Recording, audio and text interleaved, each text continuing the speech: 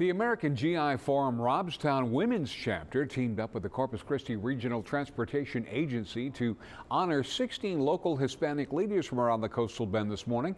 Every year, the RTA wraps a bus for Hispanic Heritage Month to feature leaders that have made an impact on the community. The RTA unveiled the 40 foot bus wrap this morning here at the Channel 3 studios during the Domingo Live broadcast. The bus will run scheduled routes throughout Robstown for a year. Robstown City Manager Herman Rodriguez says the Hispanic themed bus will be a positive influence on younger generations.